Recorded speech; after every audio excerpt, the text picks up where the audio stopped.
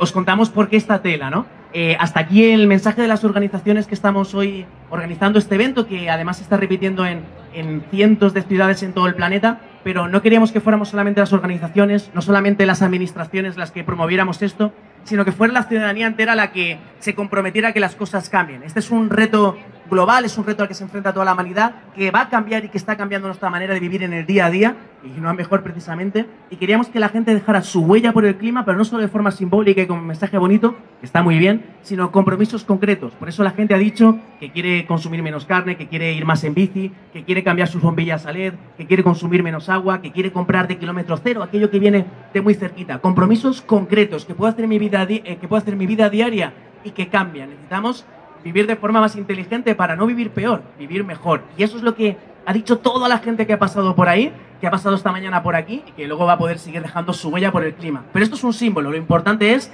que lo hagamos en nuestro día a día, en nuestra vida diaria, para que las cosas cambien. Muchas gracias.